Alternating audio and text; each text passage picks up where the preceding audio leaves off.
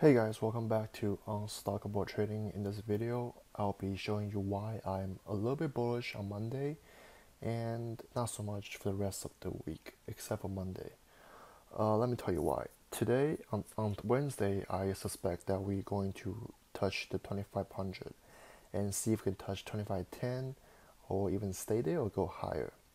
It did hit 2520 but then we got rejected right away and then when we closed at 2485 i said anything below 2500 closing is a bearish sign.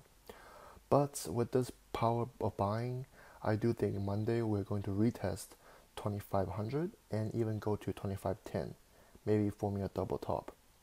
So this line will draw will draw on wednesday and then i do think we are coming back down in the long term or next, um, I'll say January, first two weeks of January. So on the SPX, first I'll be targeting 2510 again, and then let's see if we can hold above uh, 2440. One thing I have to show you is that the VIX. With the VIX, you have to know today we had kind of flat day at closing but the VIX is down about 4.5.4%. That's huge for VIX.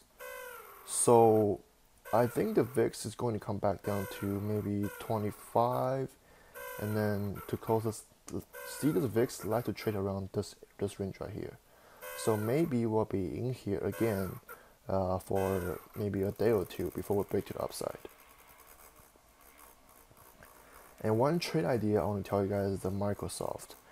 Uh, I want to short this thing really bad because it's so high and it's filling this gap right here.